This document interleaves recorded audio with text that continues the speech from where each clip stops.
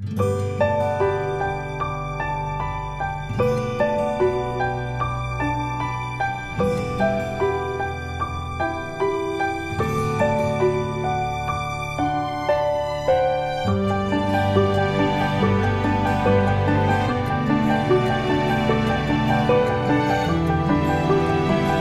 Hello everyone तो यहाँ पे मैं आज आप लोग को कुछ बताना चाहूँगी। देखिए हेयर लॉस की जो प्रॉब्लम है ना, आजकल बहुत ज़्यादा देखी जा रही है और मेरे भी कुछ दिनों से ना हेयर बहुत ज़्यादा फॉल हो रहे थे। और इसके बहुत से रीजंस है, जैसे कि हेयर फॉल होने के, जैसे कि जेनेटिक रीजंस हो सकते हैं न्यूट्रिशन की कमी हो सकती है किसी में। अगर आप बहुत ज़्यादा स्ट्रेस लेते हैं पॉल्यूशन में घूमते हैं तो आपकी हेयर फॉल होती है, बाल झड़ते हैं। हार्मोनल डिसबैलेंस अगर किसी का होता है तो भी हेयर फॉल होने लगती है उस टाइम पे। अननेचुरल एजिंग जैसे कि हम एक एज में जाते हैं तो भी हमारा हेयर फॉल होता है।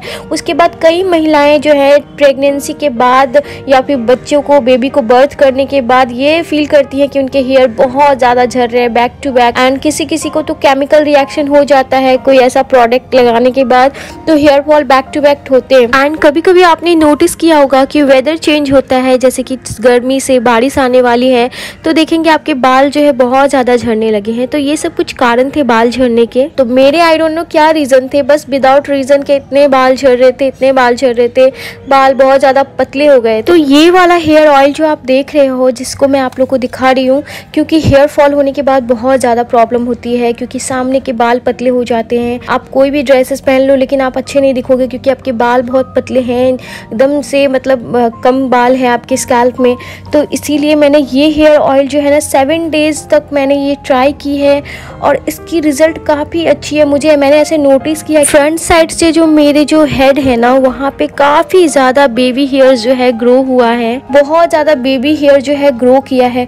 तो गाइस मैं बता दूँ, ये सेवन डेज़ ऑर्गेनिक का onion and black seed hair oil है और ये हेयर ऑयल जो है, मेरी बहुत सी समस्याओं पे बहुत अच्छा वर्क किया है। मैं बता दूँ, इस हेयर ऑयल में ना सबसे अच्छी चीज़ जो है, वो है मेन इंग्रेडिएंट जो है, वो है अनियन एंड ब्लैक सीड और उसके बाद सनफ्लावर ऑयल है इसमें। तो मैं बता दूँ अनियन में ना गाइस बहुत ज़्यादा मात्रा में सल्फ़र पाया जाता है। एंड सल्फ़र जो है, वो प्रिवेंट करता है आपके हेयर ब्रेकेज को। एंड आपके स्प्लीटेंट्स को पतला होने से बचाता है।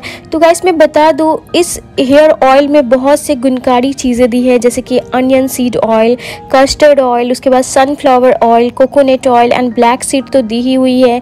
और भी बहुत से कुछ ऐसे इसके मेन इंग्रेडिएंट है। इतना मैं आपको यहाँ पे लिख देती हूँ, दिखा देती हूँ। तो गाइस मैं बता दूँ कस्टर्ड ऑयल जो है जिससे जो कि बहुत अच्छा इंग्रेडिएंट माना जाता है। इसमें मॉइस्चराइजिंग प्रॉपर्टीज़ होती है, जो कि हेल्प करता है आपके बाल को लाइक इंक्रीज करता है आपके बाल को बढ़ाने में, आपके बालों में फ्लेक्सिबिलिटी लाता है एंड आपके हेयर लॉस को जो है कम करता है, यानी कि हेयर फॉल होने से बचाता है। सेकेंड नंबर थर्ड नंबर जो इंग्रेडिएंट है, वो है सनफ्लावर ऑयल तो गैस मैं बता दूँ सनफ्लावर ऑयल में ना एक नेचुरल एसिड होता है, जो कि प्रमोट करता है आपके हेयर को एंड आपके जो सनफ्लावर ऑयल जो है, वो आपके हेयर फॉल को कंट्रोल करता है स्टॉप करता है आपके हेयर ब्रेकेज को एंड आपके हेयर ग्रोथ को प्रमोट करता है। तो आप देख सकते हैं, और कोकोनट ऑयल के बारे में तो सभी को पता होगा, क्योंकि कोकोनट ऑयल आज से नहीं, हमारे इंडिया में बहुत पहले से जो है, एक अच्छा चीज़ माना जाता है, बालों के लिए अच्छी इंग्रेडिएंट मानी जाती है। तो कोकोनट ऑयल तो बहुत ही ज़्यादा ब्लेस्ड है, क्योंकि वो आपके हेयर को जितना नरिश कर सकता है नरिशिंग प्रॉपर्टीज़ होती है उसमें उतना कोई भी और चीज़ में नहीं होती है। एंड ये नरिशमेंट ना सोक कर लेता है आपके हेयर के स्टैंड या फिर आपके हेयर के स्कैल्प एंड उसके बाद जो है ना क्विकली आपका हेयर जो है बहुत ज़्यादा हील होता है। आपके हेयर ब्रेकेज कम होते हैं, जो कि आपके हेयर ड्राइनेस के चलते झड़ रहे थे, वो कम होता है। तो आप देख सकते हो सेवन डेज़ ऑर्गेनिक का ये हेयर ऑयल जो है मैं काफ़ी दिनों से यूज़ कर रही हूँ। यूज़ करने के बाद काफ़ी ज़्यादा मुझे इसका रिज़ल्ट अच्छा मिला है। हेयर काफ़ी ज़्यादा साइनी हुई है। हेयर ग्रोथ भी निकल रही है बेबी हेयर काफ़ी ज़्यादा आया है और हेयर काफ़ी अच्छी तरीके से मेरा जो है ना सॉफ्ट रहता है मॉइस्चराइज रहता है। और मैं बता दूँ गाइस ये जो हेयर ऑयल है ना, बिल्कुल totally hundred percent chemical free है। इसमें कोई भी केमिकल नहीं है और ये hundred percent chemical free product है। और इसे मेन एंड वुमेन कोई भी लगा सकते हैं, इसको लगाना भी बहुत ईजी है। बस आपको अप्लाई करनी है जेंटली इस ऑयल को अपने स्कैल्प में एंड उसके बाद नाइट में आप करें तो ज़्यादा अच्छा होगा परफेक्ट होगा। बट डे में भी आप कर सकते हो, क्योंकि डे में हमें ऑफ़िस घर कहीं जाना होता है, इसलिए हम नहीं कर सकते।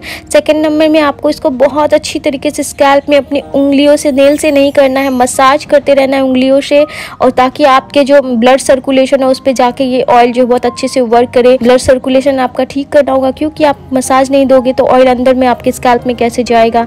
थर्ड नंबर आपको बस ऐसे ही आपको छोड़ देनी है। अगर आप दिन में लगा रहे हैं तो आप शैम्पू करने से पहले, एक घंटे पहले ऑयल मसाज दे, उसके बाद आप शैम्पू करें। तो गाइस ये जो प्रॉब्लम है, बहुत सारी महिलाओं में है। आफ्टर प्रेगनेंसी के बाद तो ज़्यादा ही होती है।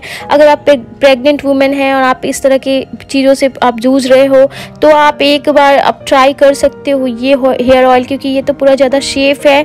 और गाइस और मैं बता दूँ, ये हेयर ऑयल जो है, ये पैराविन सल्फेट फ्री है। यानी कि जो केमिकल हमारे बालों को डैमेज करती है ना गाइस जिसकी वजह से मेरे बाल और झड़ने लगते हैं, ये सब चीज़ें इसमें कुछ भी नहीं है, क्योंकि ये टोटली ऑर्गेनिक है और मैं इस ऑयल का जो है लिंक जो है मैं आपको अपने डिस्क्रिप्शन बॉक्स में दे दूँगी। इस ये आपको अमेजोन फ्लिपकार्ट मिल जाएगा।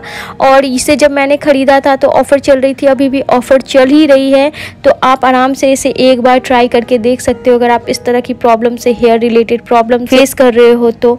Thanks for watching my video मिलती हूँ नेक्स्ट वीडियो में। Till then bye